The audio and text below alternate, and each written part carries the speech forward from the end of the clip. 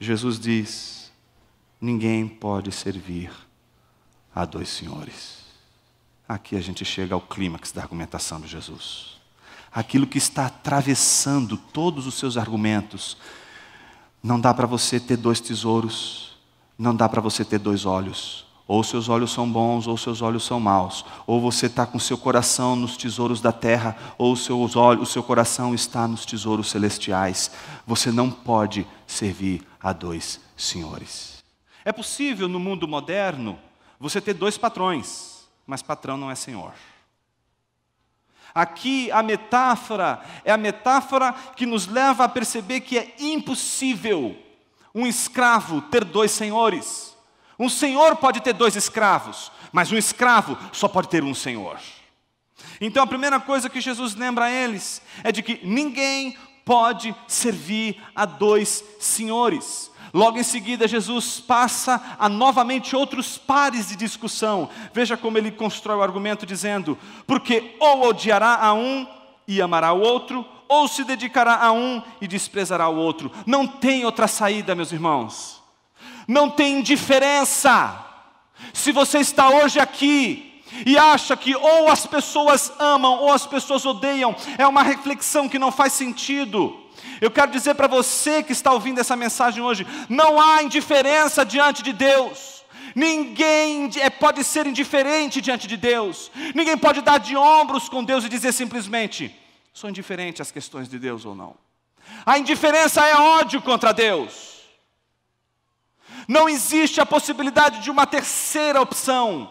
Só existem duas opções: ou você ama ou você odeia. Se você ama a Deus, você vai odiar aquilo que não é Deus.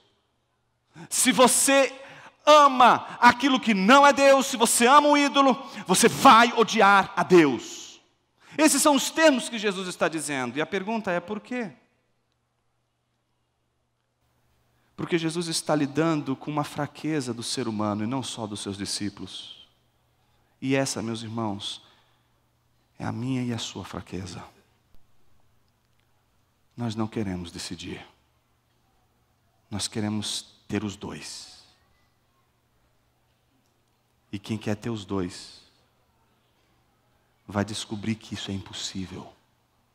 Porque querer ter os dois é escolher é escolher aquilo que não é Deus. Veja como Jesus vai construir essa terceira parte desse argumento, dizendo: Porque ou odiará um e demará o outro, ou se dedicará a um e desprezará o outro. Não podeis servir a Deus e às riquezas.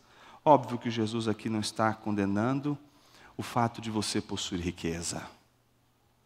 Jesus está condenando a maneira como você lida com a riqueza, com os teus olhos, com o teu coração.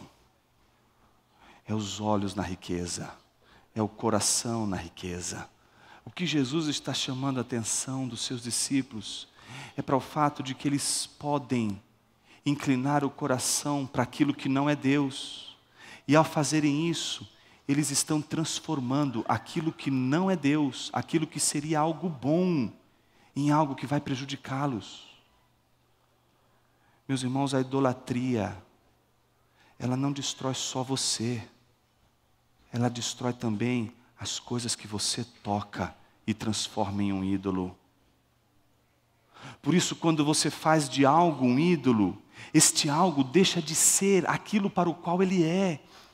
E aí ele nunca vai poder te satisfazer, porque ele não é Deus, ele não pode suprir as necessidades que só Deus pode suprir. Então, se você faz de uma coisa, de um carro, por exemplo, da sua vocação, de um prédio, de um apartamento, de sua casa, de seus bens materiais, a coisa mais importante da sua vida, estas coisas não vão te satisfazer, porque estas coisas não são Deus, elas não podem responder a isso.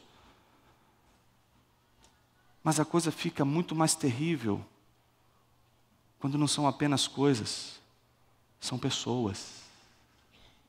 Quando o filho é o Senhor da sua vida, quando o esposo é o Senhor da sua vida, quando a esposa é o Senhor da sua vida, quando o pastor é o Senhor da sua vida, quando a igreja é o Senhor da sua vida, quando pessoas. que não são Deus, são tomadas como Deus, meus irmãos. Elas não podem suprir as necessidades do nosso coração, porque elas não têm condições para isso. Então nós nos frustramos não com coisas agora, frustramos com pessoas. A idolatria ela é perigosa, porque ela não, ela, não, ela, não, ela não consegue revelar diante de nós aquilo que mais a gente precisa saber. E aqui a gente caminha para a conclusão da nossa reflexão de hoje. Imagine você que existem duas maneiras de uma pessoa ser, se assenhorar da sua vida. Uma eu vou chamar de tirania, e a outra de senhorio. Todas as vezes que algo que não é senhor, você faz desse algo senhor, você não está diante de um senhor, você está diante de um tirano. Porque não é por natureza um senhor, mas você fez disso senhor da sua vida. Só existe uma possibilidade de você ter uma relação com o Senhor de verdade, só com Deus. Qualquer relação que você tiver com qualquer outra coisa que não seja Deus, mas o seu coração se curve, dobre os joelhos, nunca será Senhor da sua vida, sempre será um tirano. Este Senhor que toma conta de sua vida, mas por natureza não é Senhor, sempre será um tirano. E a pergunta é: por quê?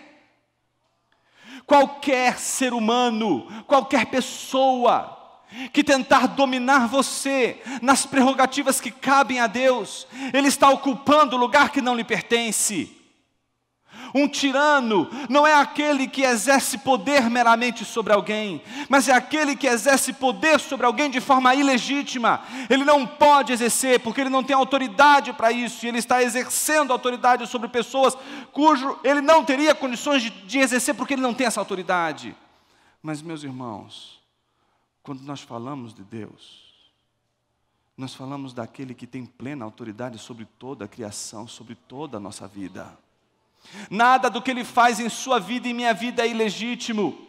Por isso ele nunca vai conduzir a sua criação com tirania, porque ele não está lá porque deu um golpe, ele não está lá porque ele não tem prerrogativas para poder estar onde está. Deus governa o mundo com legitimidade, Jesus governa o mundo como Senhor da criação e não como tirano. Por isso, todas as vezes que a gente cede o nosso coração para outro Senhor que não é Deus, nós sofremos debaixo da tirania desse Senhor. Jesus então está dizendo: tentar conciliar estes dois senhores é em si ódio a Deus. Observe, ele não está dizendo outra coisa senão: ninguém pode servir a dois senhores. Por quê? Ou odiará um e amará o outro. O problema é, não é que odiará e com relação ao outro você ficará indiferente. Não, há uma relação causal. Se você odiar um, você vai amar o outro. Se você amar, você vai odiar o outro. Jesus não está dizendo que você pode ser indiferente. Ele está dizendo que não existe o meio termo não dá para seguir com os dois.